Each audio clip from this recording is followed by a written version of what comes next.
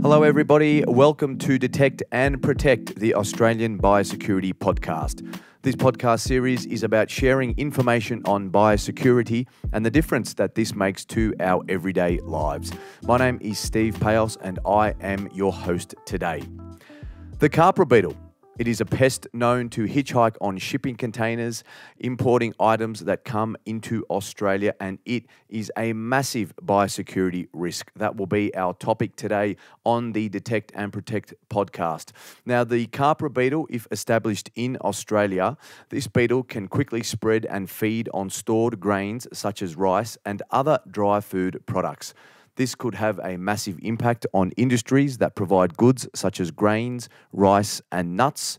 They are one of the world's worst grain pests, and this is why we have strong measures in place to manage the risk that this poses for Australia moving forward. Today, we'll be learning more about this pest, the risk that it poses, and how it has been detected and especially by a member of the community here in Canberra, where this podcast is being recorded. For today's episode, we are joined by Dr. Gabrielle Vivian Smith. She is Australia's Chief Plant Protection Officer, and it is my pleasure to welcome her to the podcast today. Thank you very much for joining us, Dr. Vivian Smith. Thanks very much, Steve, and it's a pleasure also to have the opportunity to talk to you about this pest today. Great to have you with us again, Dr. Vivian Smith. For our listeners to the podcast and also those that subscribe and tune into our webinar series, Dr. Vivian Smith was on one of those recently, and she will be a fantastic guest for me today. She is extremely knowledgeable and holds a very important position in our department. First of all, uh, Gabrielle, could you please tell us a little bit about your role as Australia's Chief Plant Protection Officer and specifically uh, the things that you do that are very important? Sure. So the Chief Plant Protection Officer role, in, a formal sense, is the primary representative of an advisor to the Australian Government on matters that relate to uh, plant health, so improving it, um, maintaining it, managing it, uh, and also working to um, support the systems underneath our plant, making sure that our plants remain healthy. So, in essence, I, I really work to protect Australia's plant based industries as well as the natural environment from harmful and exotic uh, plant pests and diseases. I feel like biosecurity has really uh, expanded its focus now in the fact that it's it's, it's a lot more prominent uh, in everyday people's lives, and I think that be uh, can be credited to the work that you've done, which which is really good. Yeah, uh, in Australia, we're really fortunate. We've got a very strong plant health system, and uh, it's highly effective in managing biosecurity risks. And it's really fundamental to uh, ensuring that we've got productive landscapes and competitive uh, plant industries, as well as a sustainable environment. And I think Australia's um, positioned really well. We don't have a lot of pests and diseases that uh, exist overseas and in other, many other countries and uh, it gives us a really good reputational advantage as a provider of reliable, high quality food um, that meets the world's growing food demands. I think that's very important as well, especially in this changing environment that we live in, uh, Gabrielle, that we continue to keep that pest free status and continue to be leaders uh, in the agriculture and primary. Uh, primary resources uh, sector because it's such a big uh, thing these days, primary industries, and we're, we're a leader of that. Let's talk about the Khapra beetle itself and why it is such a big risk for Australia moving forward. So it's a, a Khapra beetle is a tiny little beetle, but it's Australia's number two uh, national priority plant pests. So these are it's number two on our hit list in terms of exotic um, pests and diseases. Uh, but for the grains industry, it's their number one priority plant pest for grains, and uh, in essence, um, poses a really big risk for them.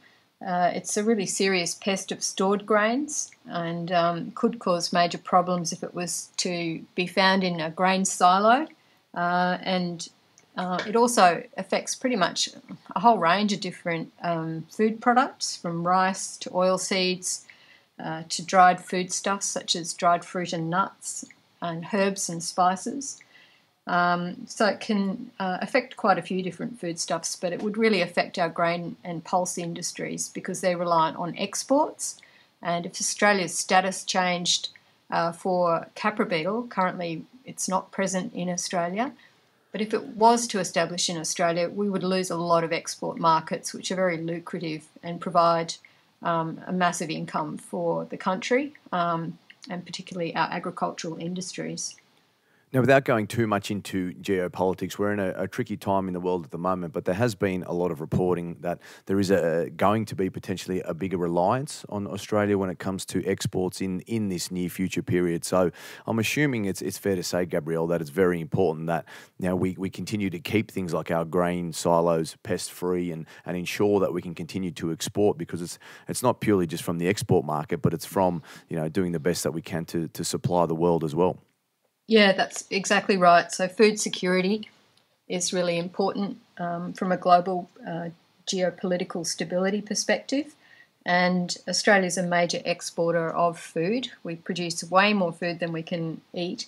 And uh, so, trying to make sure that we can continue to produce uh, food like wheat and other grain crops, like chickpeas and, and pulses, really effectively and really um, uh, don't add to the cost and add to the need to use chemical um, treatments is, is really important. No, that's great to hear, and I hope that continues and, and, and you continue doing that great job that you're doing. With regards to the Khapra beetle, uh, Gabrielle, how can that arrive in Australia? Is it as basic as, as just through cargo, through airports, seaports, and that type of thing? Or if you could elaborate on that for us, that'd be that'd be very interesting to hear. Sure. I'll, I'll, tell you a little bit about the khapra beetle because that explains uh, how it can arrive as well and why it's a bit of a tricky one. Um, so, it, as I've mentioned, it uh, establishes itself in stored food products, and so it's really dependent on the movement of uh, goods by humans. So, human activities is really the main way it will spread to Australia. It can't really get here uh, through natural pathways like the wind or water. So it's really dependent on human activities. It's a tiny little beetle. It's only one to two millimeters um, long, and generally the adults don't live for very long and they don't feed, but they produce a lot of eggs, tons of tiny little eggs, and they turn into small larvae. And the larvae are tiny and they're quite cryptic, which means that they like to hide. They hide in little cracks uh, in in um, walls or in floors they can hide under the floors of sea containers, and um, they can even hide underneath paint, uh, layers of paint. And they're very clever um, from a biological perspective in that they uh, can just hang around without very much food. They, they can actually live for 12 months without any food, and they can live for maybe up to 10 years by just kind of having a snack every now and then when food becomes available and then going back into a state of uh, sort of dormancy, or what we call in the insect um, entomology world a diapause. So they can just hang out there, um, biding their time until food becomes available. And if they're hanging out in sea containers or in um, uh, other areas where there's not a lot of food, they just keep there at that very low level, very low level of population, just a few of them. Sometimes might be a bit more of higher populations, and then when the time and location uh, and temperature are right, uh, and they've got food and they've got the right um, conditions, they'll just start to uh, feed, and their populations can be quite explosive.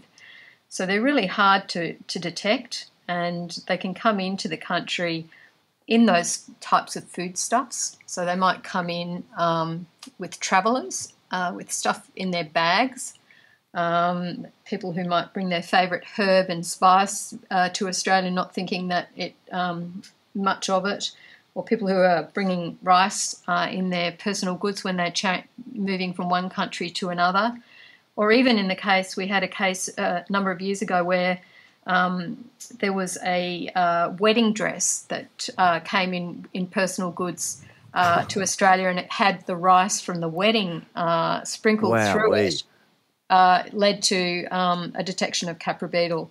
So they can come in in quite sneaky ways like that.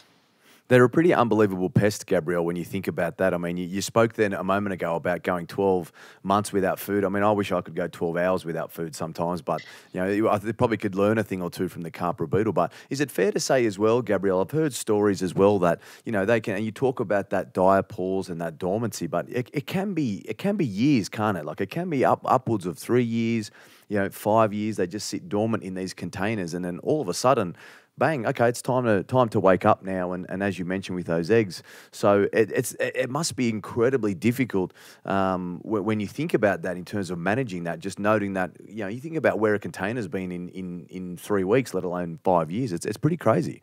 That's right. So it, it does make it difficult. So whilst we used to find them a lot in uh, foodstuffs, uh, we're starting to see a different trend emerging, and that's where they've kind of uh, ha- started hanging out and building up in numbers in in uh, shipping containers mm-hmm, that once mm-hmm. upon a time uh, might have contained food uh, stuffs, uh, so a commodity, um, some sort of uh, grain commodity, or maybe peanuts or something like that. And they've just been able to hang out there, even though then subsequent shipments might have been washing machines and refrigerators and who knows what, and until they get to the right spot. So um, the science, scientists have done work and they found that just with a, a, sort of an intermittent little bit of food, they can last for ten, one um, sort of stage can last for up to 10 years. That's, a, that's the extreme. 10 years now. That's the extremes. That's unbelievable. Under scientific conditions. But um, but yeah, they, they are known to be able to last for quite a few years. So a shipping container that might have been contaminated three or four years ago um, can still pose a risk uh, when it arrives on Australia's doorstep, um, and where the khapra is is sort of lurking in a very cryptic, hidden away fashion under the floorboards. Absolutely, and I think that also uh, puts pay to some of the important programs that we have, like sea container uh, cleanliness programs and hygiene programs, to ensure that you know the movement of, of cargo uh, and bulk goods around the world can have these protections in place. Because, as you said, it's so difficult when you have uh, not only a dishwasher or, a, or, or something like that, a white good moving around the world. Uh, you you have grains, you have pests, you have the remnants of that. And that story about the wedding dress is amazing. Like I know in, in certain cultures and traditions, you'll throw it could even even just be a case of it's not from you know having a meal at a wedding, but could be when you throw things like rice in the air or whatever the case may be. It, it catches in a, a, wedding dress, and then you can inadvertently pick it up, and, and next minute it arrives, and, and we have a story here to talk about on the podcast. So incredible uh, little beetle that it is.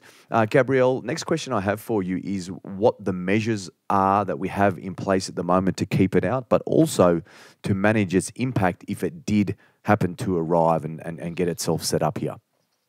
Right. So, um, so we've got quite a few different uh, measures. So we've got a very robust uh, biosecurity system uh, in the first place. So there's multiple kind of layers uh, to our biosecurity system that help um, ensure that we're working offshore, so beyond our border. Um, we're taking a really strong uh, approach at the border to manage any risks uh, risk based approach, biosecurity risk based approach, and then post border as well. So we look at it in that way.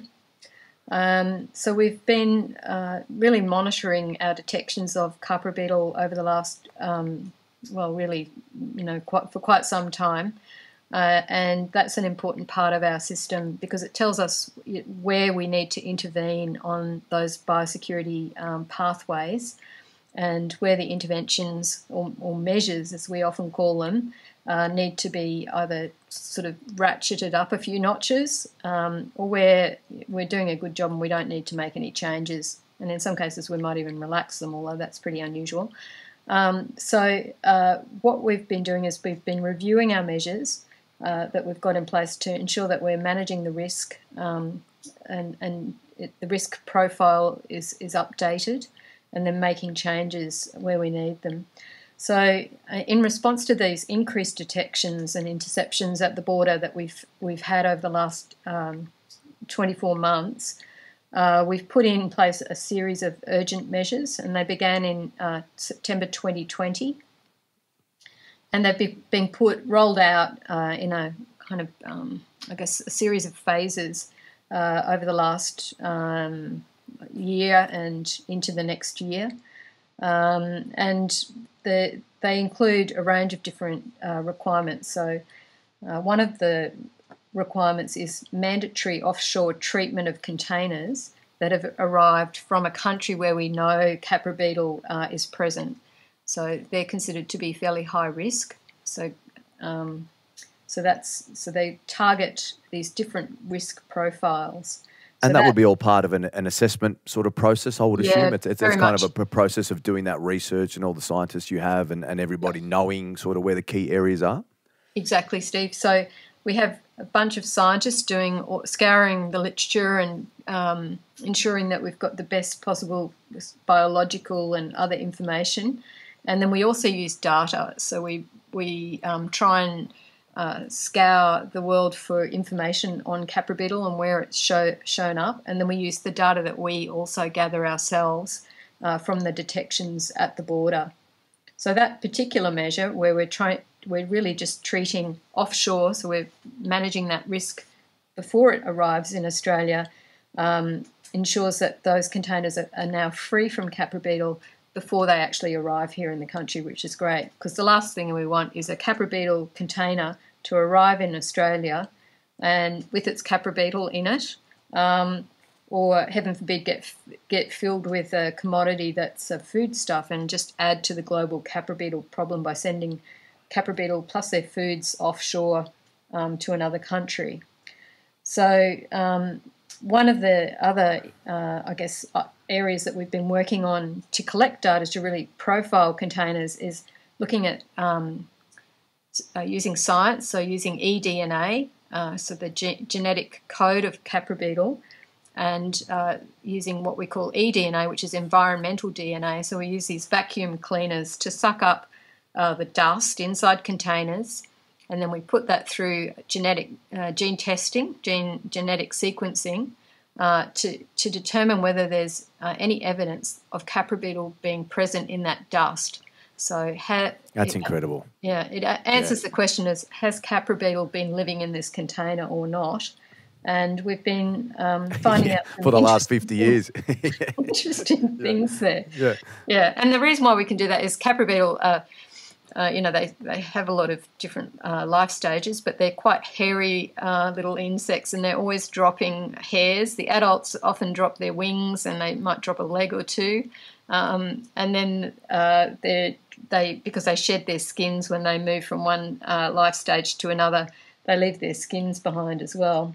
So they're leaving a lot of DNA for us as a signature um, to, that they've been there having a little holiday in a container of that being behind. That's right. And and if there's one thing I could say here, and and I'd love for you to to stress the point as well, but this sort of all feeds into the work, the science, uh, and I know the technology and innovation that that areas in our department are doing, for example, to try and sort of pick up things to scan even you know containers when they arrive on the wharf. But you'd have to agree with me here, Gabrielle, that Australia's always been very you know front and foremost in looking as primary prevention versus secondary prevention. I mean, we had that uh, concept with what happened with with COVID nineteen, and we've seen that whilst being very you know tough on a lot of people in the country, no doubt about that. It's sort of been marked as the gold standard for, for really trying to minimise you know death and, and, and serious illness on, on human health. But when it comes to this side of things too, you know primary prevention is our is our best way to do that to mitigate that risk offshore. And and, and I'm sure you agree with that, and, and would love to stress that point. Yeah, you're absolutely uh, dead right there, Steve. Uh, particularly with beetle because it it's a pretty tricky thing to um, get rid of once it establishes. So the key um, keystone really to our strategy with Khapra beetle is prevention, and hence we're using throwing a lot of uh, innovation, new technology uh, at improving our ability to prevent Khapra from entering the country. So we're looking at traceability systems for sea containers. We're looking at how we might improve the treatment of sea containers so that they're more hygienic. We're using cameras and artificial intelligence technology that sort of scans uh, images and um, uh, using other computer algorithms that are self learning to help uh, improve our ability to detect uh, Khapra beetle and to monitor sea containers and um, be able to identify those that present a higher risk to Australia for pests like Khapra beetle, but also other hitchhiker pests. And I know in my time in the department, Gabrielle, I've seen lots of advances in that. I mean, sort of when I started going back six to seven years ago, you know, the importance of a lot of the programs we ran offshore were, were hugely important, working with NPPOs and working with industry overseas to, to teach them how important it is for us. But seeing that technology develop has been something that I've really enjoyed. And I guess in a funny way, the, the pandemic led us to focusing a lot more on, on things like that in our own backyard here, how we can improve detection as opposed to getting out there and and seeing what's overseas. Um, a, a, quick one for you, Gabrielle. This is going down the path now of, of, potential more difficulty, but have there been any detections of the Khapra beetle uh, at Australian borders to this point? Yes, look, we have had um, detections. So we've had a number of detections over the years. Um, they were quite spread out, uh, and um, we would find there was, there was the wedding dress incident that I mentioned before. Uh, there's also been a detection in plastic beads uh, that was a bit perplexing a, a few years ago, uh, and plastic containers a year or so before that. Uh, and then we find them from time to time in rice that's being imported and other personal goods, like I mentioned before, this, this herbs and spices. Um, but uh, some of the more interesting recent detections that we've had uh, have been um, really helped by the general public. We had one very, um, I guess, concerning one in 2020, and that was in imported refrigerator packaging. And uh, we also had another one, which was a separate incident that year um, in packaging associated with imported high chairs. And uh, these detections were all, of course, successfully contained and treated and eradicated but um, we're particularly thankful to uh, the local uh, public for their eagle eyes. Um, the important detection in the refrigerator packaging was uh, by a Canberra man uh, who was um, had just taken uh, taken ownership of a new refrigerator, and uh, his name was um, Brett Burdett. And he and his wife Donna noticed some live beetle larvae while they were unpacking the new refrigerator. Awesome. And they noticed awesome. that the beetles were in the packaging and had been shipped with the refrigerator and immediately thought this could be a biosecurity problem for Australia. They took photographs and uh, they um, contacted us when they realised that they didn't know what these beetles were, and uh, we went right out there and um, took care of the problem for them not an everyday ladybug, is it, Gabrielle, that you see popping out of a popping out of your items like that in your in your backyard? That's it's such an incredible story. This one of how that all began, and I mean, yeah, this goes back to what I said a moment ago about people having that awareness of, of biosecurity, you know, in the forefront of their minds now. They know that things like that are, are odd, they're they're unique in that circumstances, and, and especially if you can't recognise it. I mean, I, I know I've seen a lot of great pictures of, of things like Khapra and, and things like BMSB. You can see when when they when they infest and they go nuts. It's something that you really need to think about. So it's it's a great story for Brett. I mean, when when that was dealt with, you know, and, and in your dealings with the circumstances, how surprised was he, you know, in, in that circumstance? Was it something that really took him aback uh, when he found this sort of thing? Well, I didn't talk to him personally, but I think that he was surprised that this tiny little beetle, the size of a grain of rice or possibly smaller, could be something that was so important to Australia and so important to our agricultural industries. And um, yeah, I think I think I think they were uh, quite impressed that they'd managed to find uh, this little beetle and um, the response that ensued after that in terms of uh, biosecurity concern and ensuring that, that that pest didn't establish. Absolutely, he deserves the key to the city, perhaps because he's probably saved, you know, the country a lot of money, as we've talked about. And and I know Absolutely. you've mentioned things like you know you mentioned things like the figures that are involved in, in these type of incursions as well, and, and they are mind boggling. You mentioned there a little bit about uh, what happened when when that incidents was reported to the department uh, and the response. But could you tell us a, a, little bit more about sort of the overall responses when, when these type of things happen and how we would sort of look to manage things at the different stages? I know in this case it was found, you know, in someone's home, it was reported, we were able to get out there and begin. But I know that uh, is part of the work that my section does uh, in, in, compliance. Uh, there's areas where we were involved in the daily meetings and briefings and ensuring that we spoke to as many members of the public that were affected um, you know, by things like these consignments as well? Because I know that there's been, you know, other ones where there's not that one. But if you could explain that to us, that'd be that'd be great. Yeah, sure. So the, when these incidents kick off, um, we have a, a pretty uh, good machine that kicks into gear. And in this case, there was quite a lot of tracking and tracing involved uh, just to isolate and establish just ha- how the um, Khapra beetle had arrived with the refrigerator and tracking the, con- the container that originally um, the refrigerator was packed in, uh, tracking it back to the store, uh, and, and, ensuring that, w- that any Khapra beetles that might have um, escaped in the store uh, were dealt with. So there's quite a lot of uh, tracking and tracing back through the supply chain to the point of entry and managing the risk there. We also have, we're really fortunate in Australia in that we have um, also what's called the Emergency Plant Pest Response Deed. And so that often kicks into gear. Um, and it, it's really good because it, uh, the Commonwealth has a role uh, the states and territory agencies are often our response agencies um, for any post border incidents. And so we work very closely with them. They, they uh, ramp up their emergency response arrangements and get their biosecurity officers out there doing uh, tracking and tracing, eradicating, working with the community. Um, but under the deed, we also have industry parties. So all the affected industry parties who are signatories to that deed uh, sit uh, with us and uh, work with us uh, through the technical and scientific details, and uh, also are there for the decision making as well.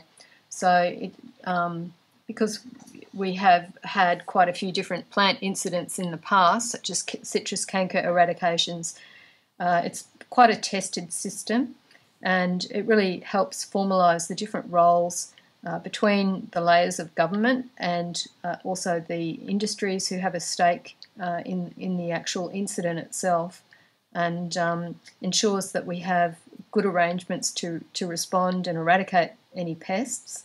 And also, we have cost sharing arrangements uh, that are in place so everyone is able to contribute to the response as well.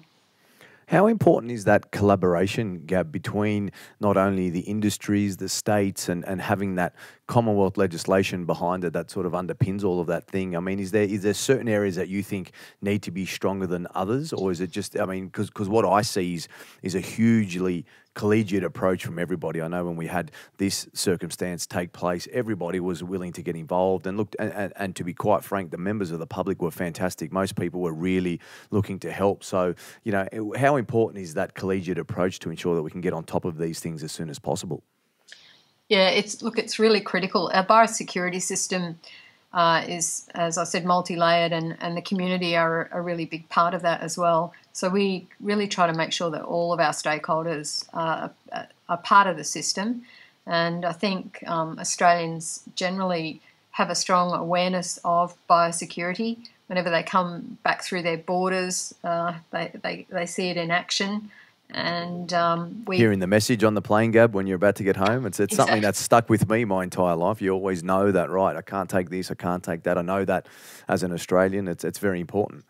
Yeah, that's right. And I think um, in terms of the the different layers of government and industry working together with the community, I, I think um, you know we know that we're going to have to do it again uh, and again around the corner. So ensuring that we've all got really good uh, relationships and we can work through some of the tougher things, tougher decisions together, um, and that we're all sharing our information as much as we um, you know can, so that everyone's informed. They've got the same knowledge base to make the decisions. Uh, it requires a fairly high degree of trust and uh, you know mutual respect, all those sorts of values. But it works really well, and um, I think we come out of it stronger and better and ready, more ready to tackle the next uh, next one around the corner the next one that comes. That's right. You spoke uh, before about uh, the great work of, of Brett in Canberra and, and the efforts that he did. Can you explain to our listeners uh, the best ways that communities can go about reporting potential biosecurity risks, like Mr. Burdett did in, in the case that they see or, or have a feeling that something's not right? Yeah, absolutely. So um, we really encourage uh, the community out there to uh, keep their eyes open and see if they uh, see an unusual insect or pest or a strange uh, looking um, symptom on a plant or just any, any kind of unusual looking organism, really, uh, to take a look at it and report it. Uh, you can report, um, if you search for report a pest, you can find uh, uh, our webpage on the Department of Agriculture, Water and the Environment website. And there's an online form, and you can report it uh, through uh, the online form. But if you want to just pick up the phone, there's a number of uh, toll free hotline numbers as well on the website. There's one which uh, relates to if you find uh, a, a, bug or a pest in um, imported goods, containers, or parcels, and that's um, See Secure Report. There's also the exotic plant pest uh, hotline as well, which is if you see unusual pests and diseases out there in your garden or uh, on your farm. And uh, we really encourage people to report it. It's really useful information for us. Often it's a native species or it's nothing to be worried about, but um, in the case of Mr. Burdett and his wife Donna, it was something to worry about, and we're really um, really thrilled and pleased that we've got members of the public out there uh, really with their eyes on the ground and, and able to um, let us know when they see something unusual like that and willing to do it, right, Gab? I mean, that's that's oh, an yeah, important absolutely. thing too. Is that there's there's no hesitation to pick up the phone, and and I think that's a great example there. If you have a circumstance where, okay, it's turned out to be something that we have here that is now you know native to the country or endemic or whatever the case may be, it's still better to get that answer and get somebody out to inspect it than say, okay, well, I didn't do anything, and then because then we can have a real problem, can't we? If it's if, if things get get away from us too quickly, we're in we're in real trouble. Yeah, it, it's um, absolutely the case, Steve. Uh, if we can uh, prevent things from establishing, that's fantastic. Uh, if we can stop them at the border, that's even be- better. Um, but if they have established, or if they're setting up a new population and they're an invasive species or an exotic plant pest or disease, uh, it's much, much um, more cost effective and much more feasible for us to get onto them really early rather than wait till they've spread further and then we've got to spend um, a huge amount more money. it takes more time, and there's more uncertainty as to whether we'll actually be successful in eradicating those pests or not. And sometimes the consequences to our uh, primary production industries can be really great, and um, also to our natural environment as well.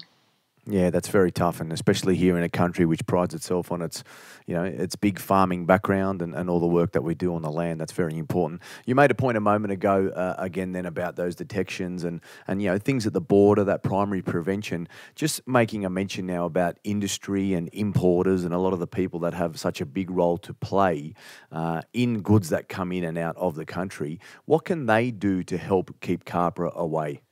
So. Uh the some of the things that they can do are um, just to be a, aware of Khapra beetle, uh, make sure that their staff who are working on their premises along that um, supply chain, uh, so warehouses, um, importers' premises, uh, are aware of what bugs to look out for, particularly Khapra beetle, the size of the Khapra beetle, it's tiny, and um, ensuring that uh, also that sea containers um, that are arriving are clean um, and uh, re- really just making sure that they're part of a, a supply chain where everyone's got um, their eyes out. They've all got a part to play with this, um, and we find that um, we're really grateful to those uh, along the supply chain um, in the warehouses who pick up the phone when they see something unusual and give us a call so we can get out there early and, and take care of um, whatever, whatever uh,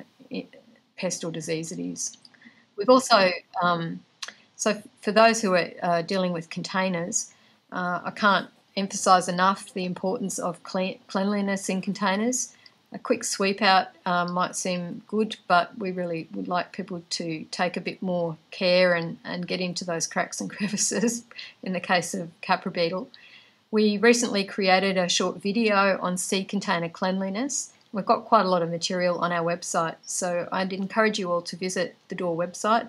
Um, perhaps put in the uh, maybe search on Google seed con- container cleanliness and um, uh, give the video a watch.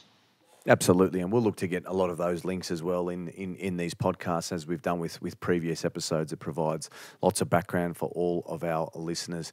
Gabrielle, one last question for you today. Um, this one's a little bit more broad uh, for you, but I just wanted to ask sort of what you see as, as, as the key priorities yourself personally. As I mentioned, you're in a very prominent uh, role in the department. So when it comes to, to pests and, and plant health overall, what do you see as the most important things as we move into sort of 2025 and and, and 2030 moving forward?